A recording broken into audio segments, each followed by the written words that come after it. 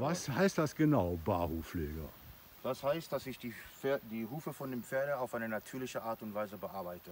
Ohne Eisen, ohne, ohne, ohne gar nichts. Also ich erlaube das Pferd, ich bearbeite die Hufe so, dass sie von Natur aus durch ihre eigenen Eigenschaften stark und flexibel und einsatzfähig sind.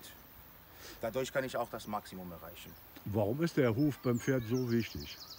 Ähm, das Pferd ist ja ein Bewegungstier. Es ist ja ein, es ist dazu erschaffen worden, sich zu bewegen. Und der, der, der letzte Punkt, hier entsteht die ganze Kraft, die ganze Bewegung, der ganze Schwung.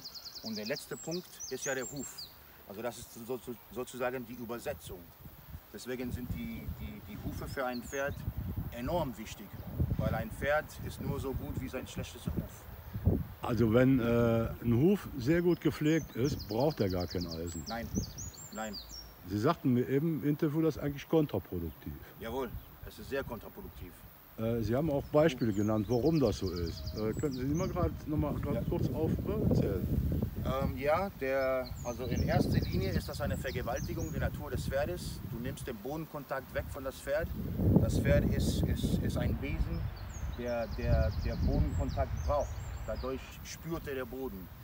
Ähm, der Blutzirkulation wird verringert. Der Hufmechanismus wird außer Gefecht gesetzt. Hast du Klirrfaktoren, die die Vibrationen innerhalb des Hufes ähm, Schädigungen verursachen, die Gelenke ähm, ähm, schädigen. Ähm, da hast du eine peripherische Ladung. Das heißt, dass der Huf als Ganzes funktioniert nicht mehr. Nur der Außenwand, da wo der Eisen ist, trägt das ganze Gewicht. Na, also es gibt eigentlich nur noch Nachteile. In manchen Fällen nach gewissen Verletzungen oder Operationen, dann ist es clever, vorübergehend eine Zeit lang ähm, Eisen drauf zu machen. Aber ansonsten ist das, ähm, damit deckst du nur die Problematik, aber damit kannst du niemals ein, ein, ein Problem lösen. Und man kann jedes Pferd nach einer gewissen Übergangszeit äh, von Eisen befreien. Richtig, richtig. Es bedarf, ähm, wenn ein Pferd lange Zeit beschlagen ist, dann bedarf es einer Übergangsphase. Da muss der, der Pferdehalter oder Besitzer be- das Pferd begleiten. Aber dann ist, ähm, ist es auf jeden Fall möglich, ja.